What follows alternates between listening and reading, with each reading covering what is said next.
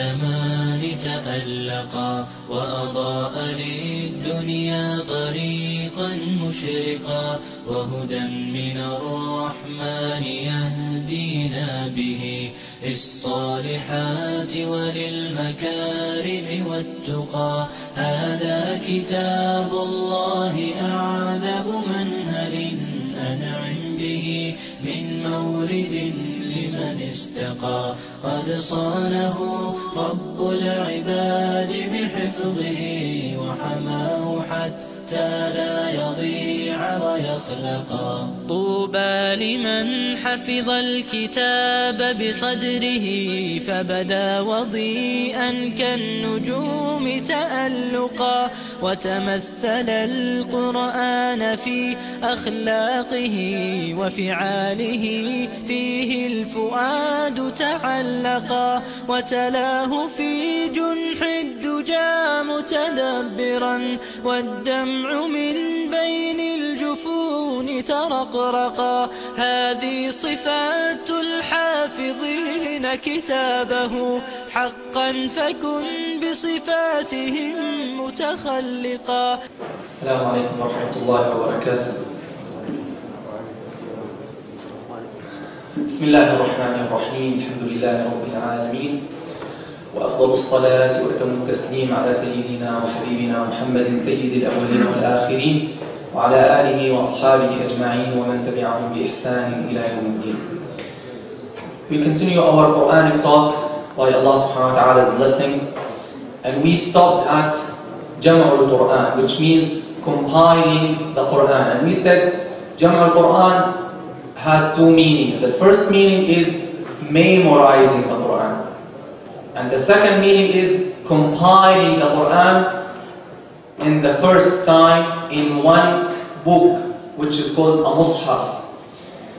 And we mentioned what Imam Ibn al-Jazari the greatest Imam of the Quranic readings over all the Islamic history, he said rahimahullah that the main reliance and the main authority of preserving the Quran is the oral transmission, is the hifz, is those scholars, those great imams who transmitted the Quran to us as they received it from their sheikhs, from their sheikhs, from their sheikhs, from the Sahaba, from our beloved sallallahu alaihi wasallam. And we said that the very first person who memorized the Quran and not only memorized it, he was very eager from the first moment to keep it into his heart is our beloved sallallahu alaihi wasallam. Why the revelation is still ongoing? He started repeating because he wanted to keep it and memorize it into his heart and his mind sallallahu alaihi wasallam. And we find that he wasallam used sometimes to read the Quran, to read long surah, like the hadith narrated by Imam Muslim radiallahu. He wasallam prayed once with one of, with some of the Sahaba, and he started reading Surah Al-Baqarah. Then the Sahabi who is narrating the hadith, he said, I think when he reads 100 ayat, he will make ruku'. So the Prophet ﷺ continued. Then he finished Al-Baqarah. The Sahabi said, now he's going to make ruku'. Then he continued ﷺ and he started Surah Al-Nisa. And he read all of Surah Al-Nisa before ruku'. Then he started Ali Imran. Baqarah, Nisa, then he read some of Ali Imran. Then he made ruku' sallallahu alaihi wasallam, a long ruku'. So, he sallallahu alaihi wasallam was teaching the Sahaba anhu and they were listening to these surah, big amount. Surah Al-Baqarah and uh, Nisa and Ali Imran, they're more than five ajza. This means if we divide the Quran into six parts, so he did, he read one out of six parts just in one rak'ah, sallallahu alayhi wasallam. And he encouraged his Sahaba radiallahu anhu. And another important thing is, how was his reading, sallallahu alayhi wasallam? We take it from this hadith, inshallah. The Sahabi, the narrator is saying he sallallahu when, when he would come across an ayah that is about glorifying Allah subhanahu wa ta'ala, he would make tasbih. When he comes across an ayah that talks about Jannah or uh, Allah subhanahu wa ta'ala's blessings, he would ask for them. An ayah that's talking about the hellfire, he would seek refuge with Allah subhanahu wa ta'ala from the hellfire. What does that mean? He's not just reading sallallahu alaihi wasallam as many of us read, may Allah forgive us. No, he was reading a reading of interaction with the Quran. He was reflecting. He was understanding and thinking on the ayah that he's reading and interacting and praying and supplicating to Allah subhanahu wa ta'ala. And this is his sunnah sallallahu alaihi wasallam. And many of the great and righteous predecessors, when they read, sometimes they read one ayah the whole night. One ayah, they keep repeating it the whole night. They're, they're drowned in the oceans of the meanings of that ayah. And out of the fear of Allah subhanahu wa ta'ala, uh, Uh, which is implied in, one, in some of those ayat as the Imams narrate.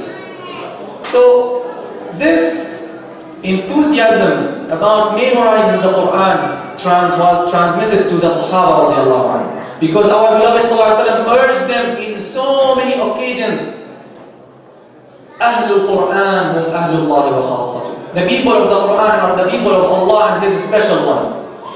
The best of you are those who learn the Quran and teach it. Read the Quran, it will come as intercessor for its people on the day of judgment. The Quran will come to the one who used to make the Quran his companion. It will come to him when he comes uh, to the grave. And the Quran will talk to him in a shape of a person and will tell him, I am the one who you stayed up late at night for me to, remind, to remember me, to read me, to recite me. So I will support you today.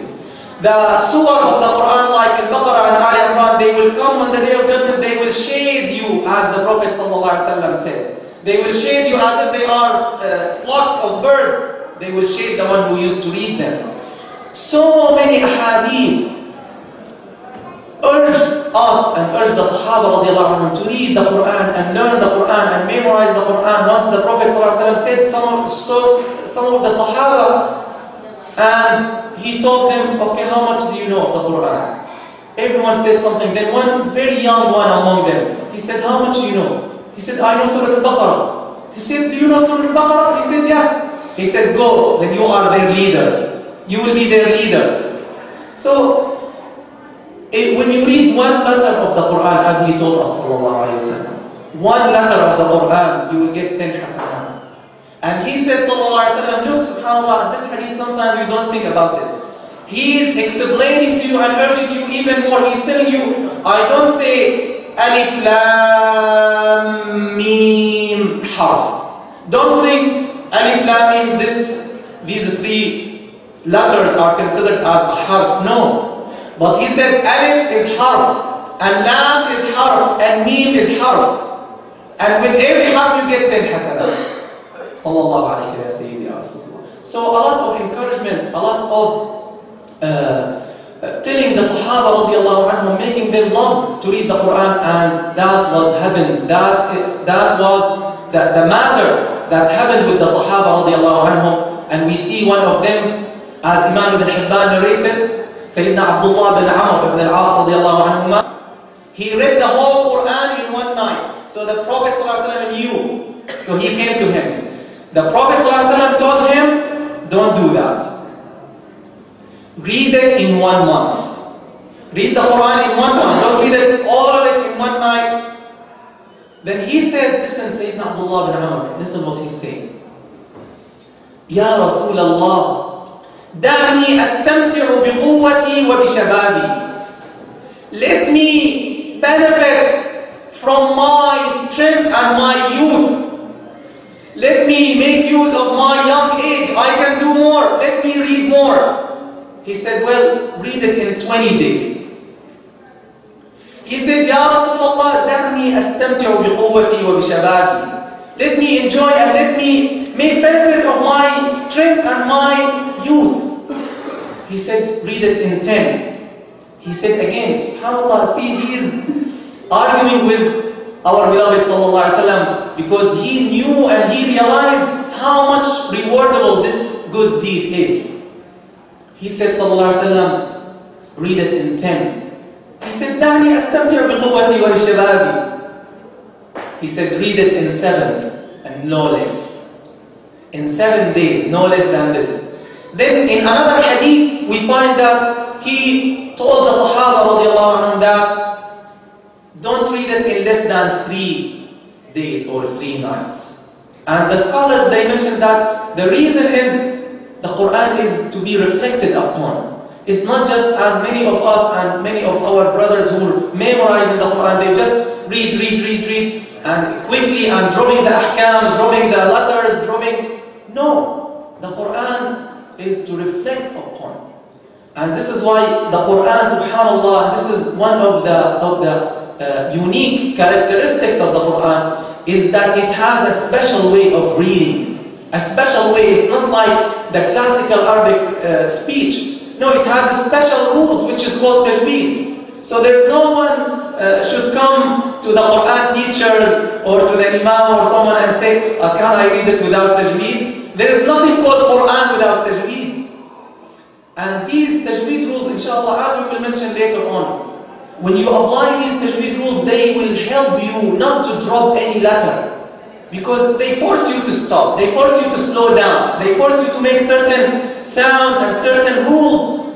And those who skip the rules, you find they're dropping letters, they're changing the meaning, and that is not acceptable. Some of the Sahaba anhum, Sayyidina Mu'adh, I'm giving you examples how much they used to read the Quran. So they, they got it into their hearts. And as we mentioned, they had a great memory. Sayyidina Mu'adh once, radiallahu anhu, he started Salah, Salat al-Isha as in the authentic hadith, and he started Surah Al-Baqarah, in Salat al-Isha. And he went in Surah Al-Baqarah, you know Surah Al-Baqarah, two juz and eight pages.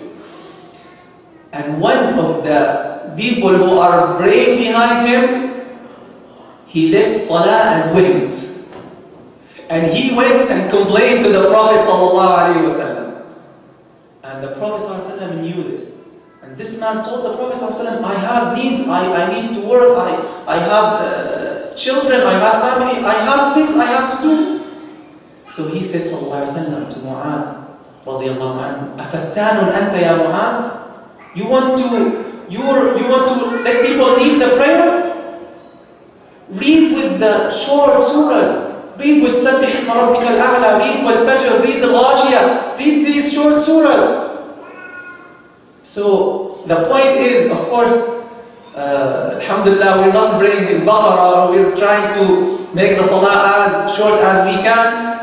And yet some brothers, some, subhanAllah, they complain sometimes. Alhamdulillah, look, look at the Sahaba, they do not complain about one page or two pages, they complain, okay, one surah one long surah, two ajza and more than two ajza. And this is why the sunnah is that our beloved ﷺ taught us when someone is leading, he should make the salah short. Because there's someone who's weak, someone who's sick, someone who has needs to fulfill. And when you pray by yourself, pray as much as you like. And this is the next point to see also how they used to read the Quran, not like ourselves, may Allah forgive us. We, there's no comparison how they used to read it and how we, we are doing. Our beloved وسلم, he would make qiyam until his feet وسلم, got swollen. And Sayyidah Aisha asked him radiallahu anha, Ya Rasulullah, did not Allah forgive you all your sins? Did not Allah forgive you all what you have done and all what you will do? He said, yes. Should not I be a grateful servant? أَفَلَا أَكُونُ عَبْدًا شَكُورًا Should not I be a grateful servant to Allah? Sallallahu alayhi wa sallam. May Allah make us of, of the shakirin. And look at the Sahaba radiallahu anhum. Imam al-Nawawi radiallahu anhu mentions in, in, in his uh, uh, he says that many of the Sahaba, they used to finish the Quran in one night. Many of the Sahaba, they used to finish the Quran in one night like Sayyidina Uthman anhu, and Tamim al-Dari and then of the Tabi'een, Sa'id bin Jubayr and others. And then Ibn Rajab al-Hanbali, may Allah have mercy on him, also he mentions that many of the righteous predecessors, the righteous Salaf anhum, also they used to make a lot of reading, especially in Ramadan, like Imam radiallahu anhu, he would do 60 khatmas in Ramadan, as well as Imam Abu Hanifa, as Imam Ibn Rajab uh, narrated, may Allah subhanahu wa ta'ala be pleased with all of them. So, uh, even that hadith that uh, urges them not to read it in less than three days, that means in general. In general, don't always read it in a short time. But in those blessed times like Ramadan and Laylat al-Qadr, those great uh, Imams who understood the hadith and who knew the hadith, they used to do it sometimes and read the whole Quran in one night. So this tells you how much and how strong the Quran is preserved by Allah subhanahu wa ta'ala's blessings. Hundreds of hundreds of hundreds of, of thousands of people, every generation, every generation, and they were listening to the Prophet ﷺ and memorizing and teaching. And this is the main reliance in preserving the Quran, the oral transmission. And inshallah, next time we will start the written compilation of the Quran. How was this Quran compiled? And later on, I will go back to, to the oral transmission when we talk about tajweed. And we will see that it is not any hifz or any uh, reading. No, they, there was a specific way of reading that they were all adhered to and adhering to. May Allah be pleased with them. And this is the way and the only way through which we believe by Allah subhanahu wa ta'ala's blessings that we read the Quran as it was revealed to our beloved sallallahu alayhi wasallam. We believe with no doubt that we recite the Quran as our beloved sallallahu alayhi recited it. The same sounds, the same med, the same rules. So may Allah subhanahu wa ta'ala help us really to learn the way because the way is preserved. But may Allah subhanahu wa ta'ala help us to learn it and to act upon it and, and to practice it and to transmit it to the coming generations. May Allah subhanahu wa ta'ala make me and make you of the people of the Quran. May Allah subhanahu wa ta'ala help us to recite the Quran in the way that pleases Him and act upon the Quran and pass the message of the Quran to others. And may Allah subhanahu wa ta'ala forgive all our brothers and sisters and give relief to all our brothers and sisters who are suffering everywhere. صلي اللهم على سيدنا محمد وآله وصحبه والحمد لله رب العالمين وجزاكم الله خيرا. يا حافظ القرآن رتل آيه فالكل للتلاوة مطرقا يا حافظ القرآن لست بحافظ حتى تكون لما حفظت مطبقا ماذا يفيدك أن تسمى حافظا؟ وكتاب ربك في الفؤاد تمزقا.